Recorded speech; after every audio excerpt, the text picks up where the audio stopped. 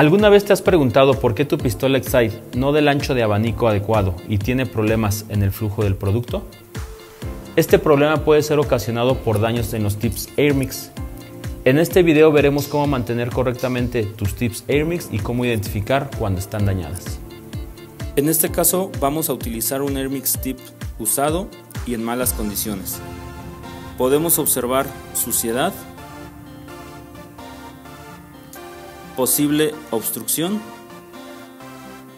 y al momento de retirar el O-ring observamos que se encuentra deformado y plano. Y un Airmix tip limpio y en buenas condiciones observamos que no existe obstrucción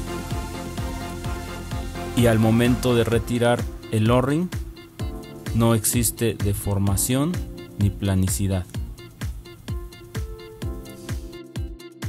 Este Airmix Tip con número de parte 09-094 tiene que darnos un ancho de abanico máximo de 23 centímetros y una salida de fluido de 300 cc con una presión a 35 bares.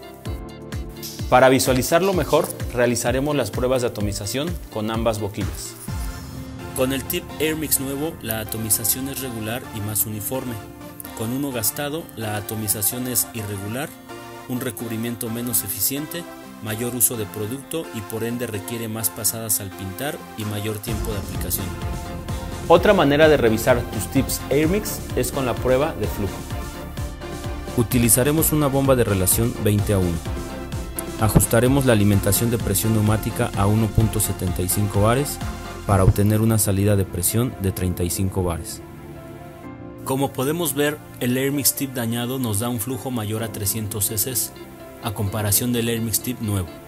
El consumo de pintura incrementa gradualmente, aplicando mayor producto en la pieza, generando sobreespesor, falta de calidad en el acabado, mayor riesgo al efecto cáscara de naranja y mayor overspray. Para evitar los problemas anteriores, recomendamos lo siguiente antes de comenzar la aplicación. Elegir la brocha adecuada para limpiar las tips Airmix. Evite utilizar algún otro instrumento para limpiarlas. Utilice la aguja correcta para limpiar el conducto. Evite introducir algún otro instrumento para limpiarlo. Después de utilizar tu equipo, recomendamos poner el tip Airmix en un recipiente con el líquido que sueles utilizar para su limpieza. Si utilizas Airmix Tips con sellos de O-ring, verifica que este no esté dañado. Si utilizas Airmix Tips de sello con malla, verifica que la malla no tenga rupturas o esté sucia. Gracias por ver este video. Suscríbete a nuestro canal para ver más video recomendaciones activando la campana de notificaciones. Coméntanos cualquier duda que tengas en la caja de comentarios. También puedes seguirnos en nuestras redes sociales.